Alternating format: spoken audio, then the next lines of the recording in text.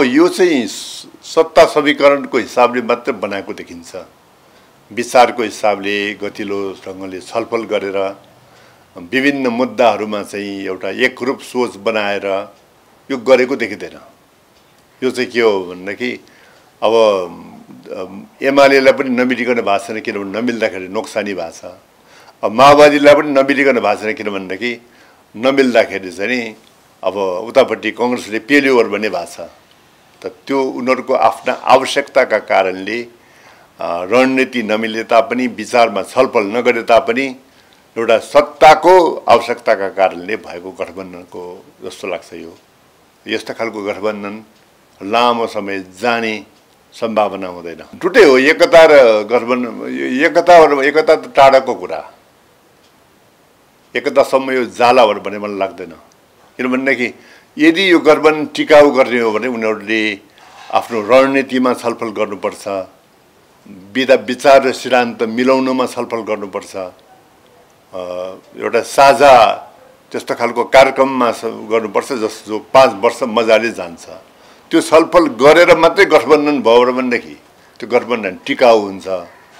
त्यो छलफल नगर्ने तँलाई सत्ता यति मलाई सत्ता यति तँलाई यति मन्त्रालय तर मलाई यति मन्त्रालय भन्नु भने मन्त्रालयको कुरा नमिले पछाडि फेरि झगडा भइहाल्छ। त्यस कारणले टिकाउ हुने हो भनेदेखि विचारमा छलफल हुनु पऱ्यो सिद्धान्तमा छलफल हुनु पऱ्यो बाटोमा छलफल हुनु पऱ्यो बाटो सिद्धान्त विचार केमा छलफल नगरिकन खालि सत्ताको वितरणमा छलफल गरेर यदि गठबन्धन बनाइन्छ भने त्यो गठबन्धन निकै छोटो अवधिको हुन्छ। कुनै पनि बेलामा भत्किन सक्छ। अगाडि पनि त्यस्तै भयो। अगाडि पनि। अब कस्तो हुन्छ भने यो पार्टी पार्टीहरूको चाहिँ टुप्पी टुप्पी मात्र बाँधेर एकता हुँदैन। टाउको शरीर खुट्टा पनि छलफल गरिनुपर्छ। र त्यो टाउको शरीर सहितको एकता भयो भनेदेखि त्यो टिकाउ भयो। टुप्पी बाँधिया छ एकता यही हो पार्टीको भर भनिएको छ भनेदेखि त एउटाले एउटा बोल्छ अर्कोले अर्को बोल्छ अर्कोले अर्को बोल्छ। त्यसले त के हुन्छ भने पार्टी एकता निकै छिटो टुक्रिने सम्भावना हुन्छ। अगाडि पनि त्यही नै गल्ती भएको थियो। अहिले पनि त्यही नै गल्ती हुन लागेको छ। अब यो देखिँदाखेरि अकस्मात देखियो अप्रत्याशित पनि जस्तो पनि लाग्ने गरी देखियो। तर घटनाक्रम हेर्दाखेरि यो अकस्मात घटेको घटना होइन योभन्दा धेरै अगाडिदेखि खिचडी चाहिँ पाक्दै थियो। अहिले त्यो पाकेको खिचडी अहिले थालमा पस्का मात्रै हो।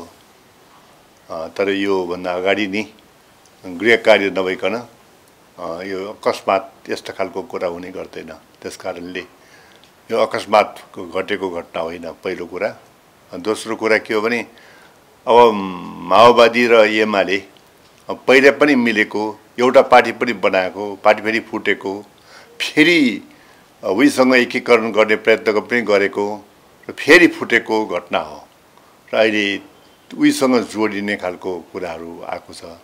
अब के असन्तोष उनीहरूमा भयो कङ्ग्रेससँग त्यो चाहिँ अब हामीलाई थाहा हुने कुरा भएन।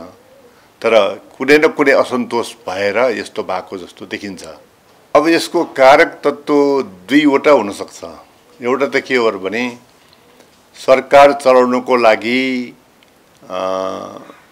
जुन ढङ्गले अब प्रधानमन्त्रीले काम गरे हो त्यो प्रधानमन्त्रीले गरेको कामलाई त्यहाँ अर्थमन्त्री कानुन मन्त्री स्वास्थ्य मन्त्री लगायतका मन्त्रीहरूले सहयोग गरेन भन्ने एउटा कारण।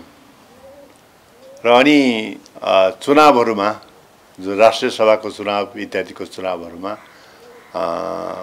माओवादीले भोट दियो तर उनीहरूले भोट दिएनन् धोका दियो भन्ने खालको बुझाइ।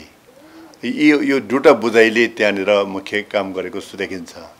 अब त्यो सङ्क्रमणकालीन न्यायको जुन एउटा उ थियो त्यो कुरामा चाहिँ पछाडि सरेको त्यसमा काम गर्नको लागि पछाडि सर्यो भन्ने कुरा पनि यसमा एउटा कारक तत्त्व भएर आएको जस्तो देखिन्छ।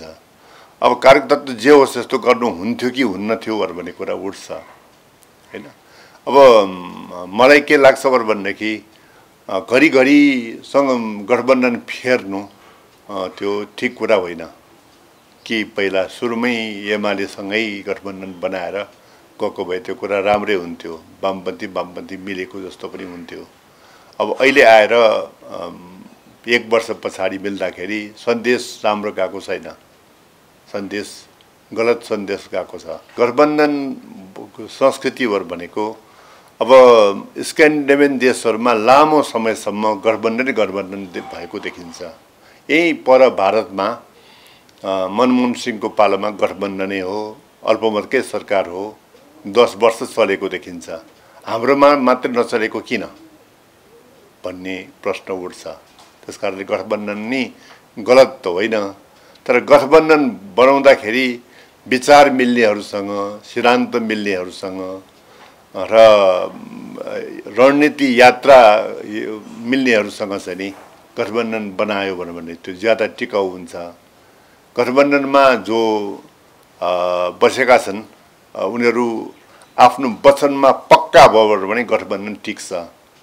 वचन घरिघरि फेर्ने भयो भने गठबन्धन टिक्दैन। त्यस कारणले गठबन्धनै गलत भयो भने मलाई त लाग्दैन। नेपालमा जुन खालको चुनाव प्रणाली अप्नाइएको छ त्यसमा धेरै जस्तो हुनेवाला गठबन्धन देख्छु। त्यस कारणले गठबन्धन भविष्यमा पनि हुनेवाला छ। तर त्यो चाहिँ एउटा गतिलो ग्राउन्डमा हुनु पर्यो के कुरा गर्नको लागि गठबन्धन? कुन काम गठबन्धनलाई गठबन्धन? त्यो चाहिँ प्रष्ट भएर गऱ्यो भने त्यो टिकाउ